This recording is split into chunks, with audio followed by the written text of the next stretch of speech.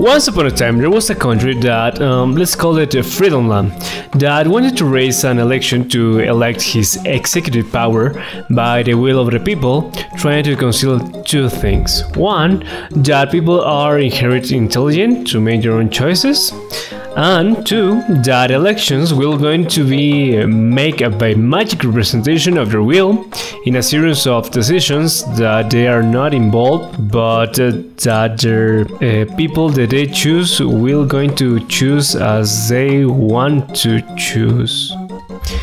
Anyway, Freedomland assumed that his people will make the right choices, as well as who they marry, what they study, and even what kind of behavior they have, because Freedomland always had been shown how responsible they are with his rights. Uh, they were having no divorces, uh, no withdrawal of school, great employment rate, and no addictions.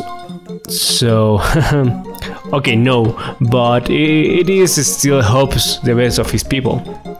Well, Freedomland used to have a fight with a country that was a crazy former military guy and that always kind of um, were jealous of him.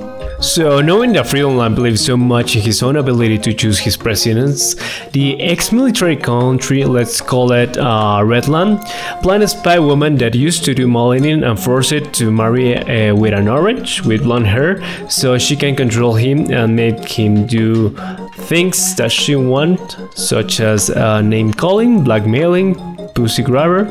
So in that way, that orange can be able to run for presidency.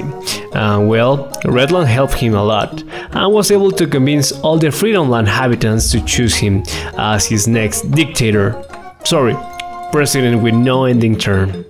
So that's how Freedomland became the new attraction point in the people of Redland, like Finland was in his day. Sorry, sorry, like Coldwoodland was in his day. So the moral of the story is not every right choice is the one that everyone approves, but no every choice everyone approves is the right choice. The end.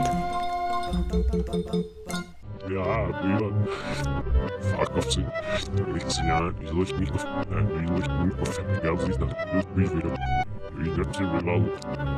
All lives that, all lives that. Vidím si Ross, tam dat dan niet meer.